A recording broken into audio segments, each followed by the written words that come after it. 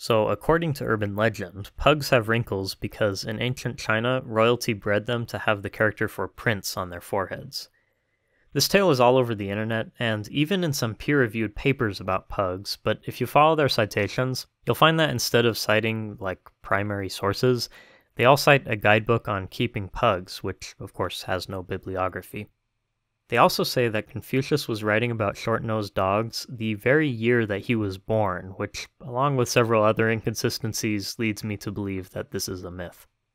But I still think it's kind of fun. I like the idea of people finding information in something seemingly random like wrinkles.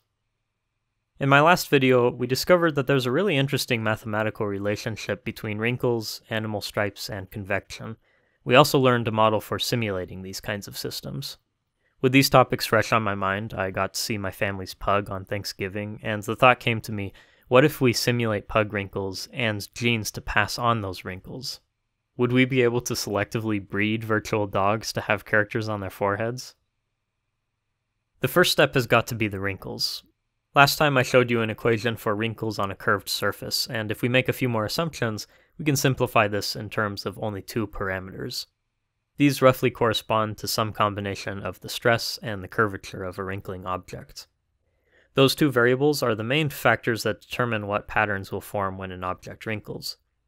The other deciding factor, of course, is the initial condition of the pug's skin. So each pug's genes will consist of three things those two numbers and the initial pattern on its skin when it's born. To see what the pug's wrinkles will look like as an adult, we apply this equation to the initial wrinkles over and over. To find text in the wrinkles, I used a character recognition tool called Tesseract. It works with a lot of languages, and it gives the confidence for its predictions, so we can use it to decide which pugs to breed. For the first generation of pugs, I wrote a script to generate wrinkles from random initial seeds until it finds one with text.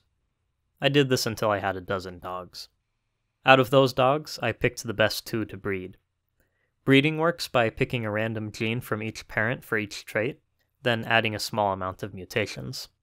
For the two parameter genes, the mutation is just adding a random number, and for the initial wrinkle, the mutation is swapping some of the pixels at random.